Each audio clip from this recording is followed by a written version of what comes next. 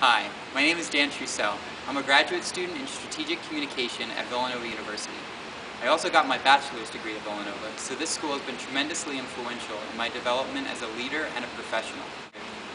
One of our favorite on-campus interview questions is if you could be any building at Villanova, what building best defines you and why? Without a doubt, my answer would be Alumni Hall, the oldest building on Villanova's campus. Located in the heart of campus, Alumni is home to Villanova's Service Learning Community, a volunteer program where students work three hours a week at a Philadelphia nonprofit and devote a part of their dorm experience to engaging social justice questions that arise from their service. During my sophomore year, I was fortunate enough to live in Alumni and to work as an adult literacy teacher at a community center in northwest Philadelphia.